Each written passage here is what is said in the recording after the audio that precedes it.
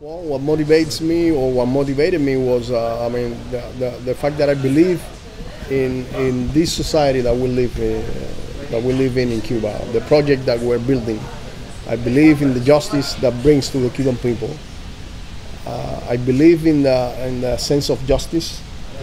Uh, I believe in the right of our country to uh, decide what kind of life we Cubans uh, want and I believe in the, the, the, right of our people, the Cuban people, to organize our society the way we decide to organize the society, and that nobody from other country, it doesn't matter how powerful it is, uh, uh, should say what we Cubans want to do with our own country.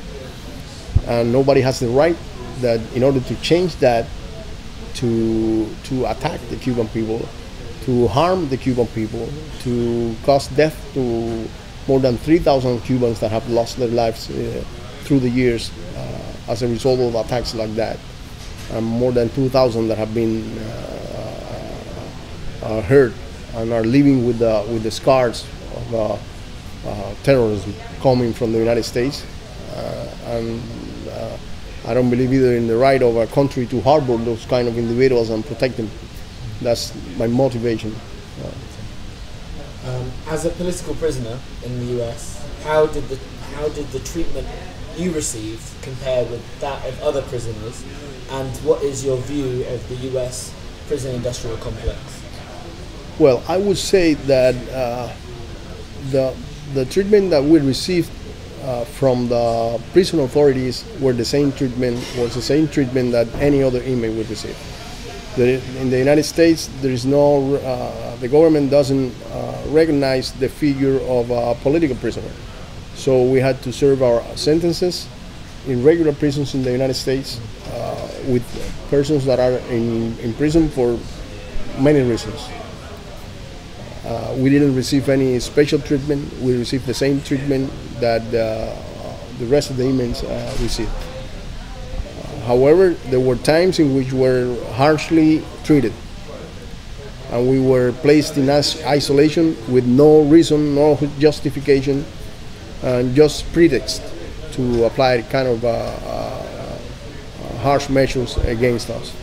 And, and it was not, to be honest, the, the prison authorities that decided that. It was always out of an order coming from Washington. It was for political reasons because we never violated any uh, rules in the prisons that would uh, uh, mean that we were taken to punishment cells or anything like that. It was always as a, as a result of a decision taken in Washington, um, politicians taking the policy, and of course the prison authorities will follow uh, will follow those orders. There were those moments and we were uh, treated very harshly. At the beginning, when we were arrested, that we were placed in isolation, and we were only taken out of isolation because we fought in court. And then back in 2003, while we were in different prisons throughout the United States, we were taken back uh, to isolation, each of us in, in the prison that we were at at the moment. And it was as a result of an order coming from Washington. And by the way, it was, it was the, the solidarity that uh, forced the U.S. government to rescind that that measure. We were supposed to be isolated for a year, with the with the possibility that the, the attorney general would uh, renew that measure for another year.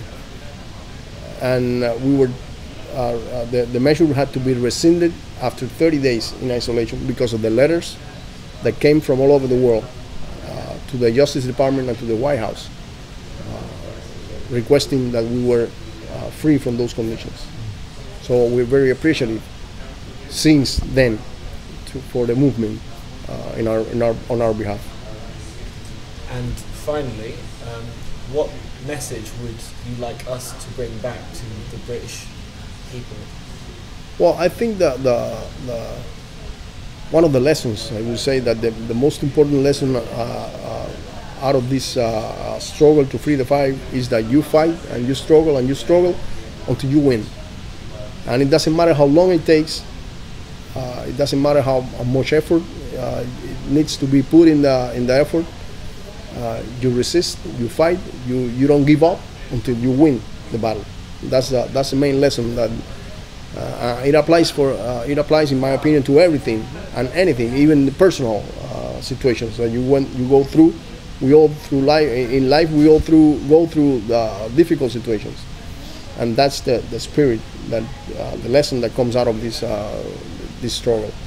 And you can take it to social issues, to all kinds of fight, It- and and you fight for what you believe in, even though sometimes you know that you're fighting for something that you're not going to be able to see yourself, but you're so convinced uh, of what you're fighting for that that you you keep fighting, even if if it is for your grandsons or your granddaughters, uh, for them to to receive the, the fruits of that uh, that, that uh, struggle. Fernando Gonzalez, thank you very much. Thank you.